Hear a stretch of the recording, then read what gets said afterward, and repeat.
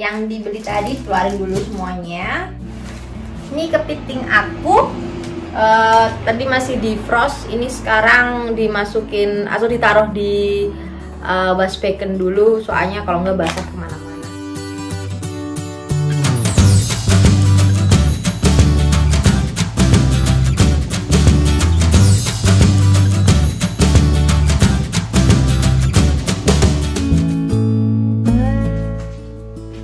Halo.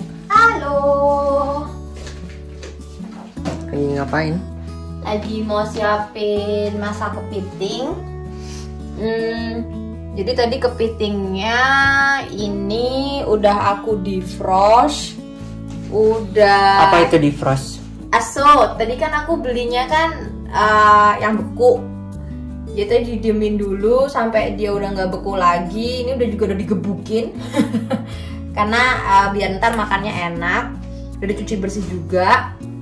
Terus bahan-bahannya ini udah disiapin bawang merah bawang putih um, ini ada cabe. Kemarin tuh soalnya cabenya dikasih banyakan jadinya pedes. Jadi ini cobain pakai satu dulu. Ntar kan kalau misalkan kurang pedes cabe tinggal ditambahin gampang. Kalau kepedesan susah. Um, serai kayu manis daun salam ini galanggal itu apa ya? Uh, laos ini jahe ini kemiri tadi udah disangrai sama ini kapulaga. Terus bumbu bubuknya ini ada ketumbar ada jahe sama ada jinten. Yang kurang di sini tuh nanti santan garam sama gula. Itu aja Oke, sekarang uh, dialusin dulu bawang merah sama bawang putih.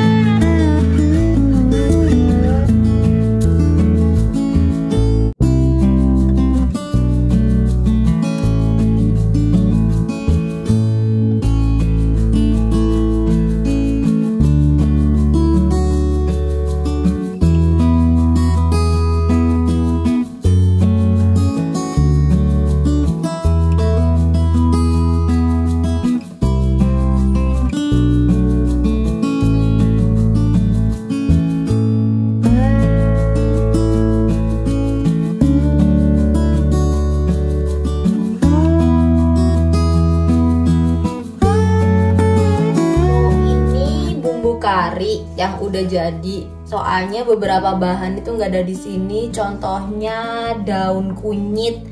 Makanya supaya dia rasanya tetap mantap jadi tetap dikasih bumbu udah jadi karena isinya udah lengkap.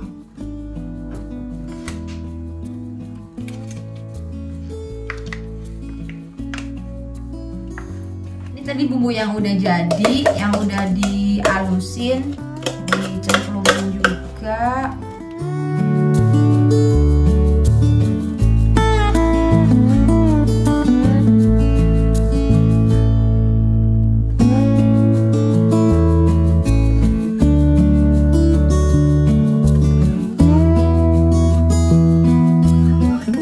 dimasukin juga. Ini serai.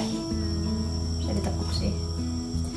Eh lengkuas kayu manis kapulaga sama daun salam.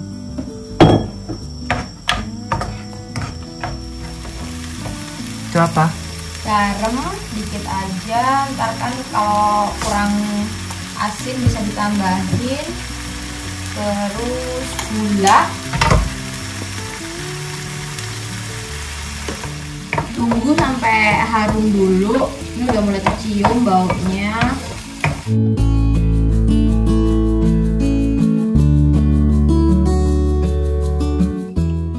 Ini uh, airnya udah mulai berkurang. Baunya juga atau aromanya juga udah mulai keluar tungguin bentar lagi terus habis ini kita tambah air.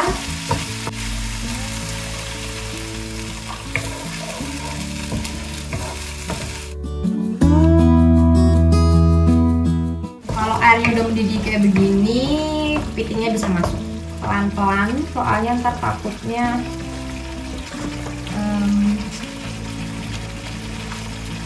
dia airnya bisa ke mana-mana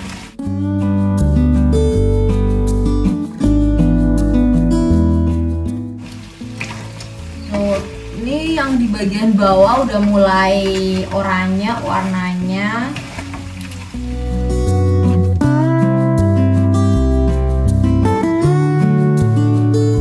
Kalau airnya udah mendidih kayak gini ini kepitingnya belum matang tapi santan udah bisa masuk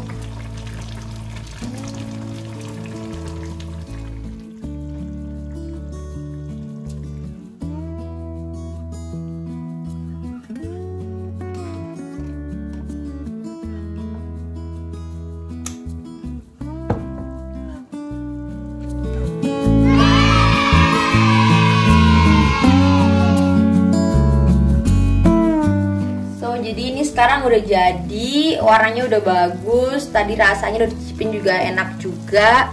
Ini kuahnya agak banyak optional sih kalau aku lebih suka kuahnya yang banyak.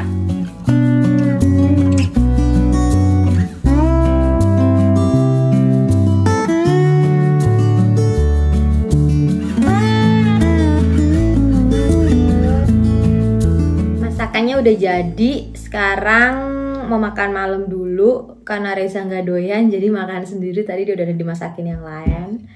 Em, tipsnya sih kalau misalkan nggak beli kepiting yang hidup mendingan beli yang udah apa namanya udah dibekuin.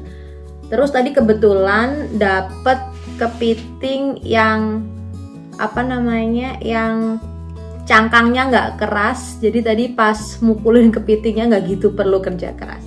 Nyobain makannya dulu ya. Hmm enak banget.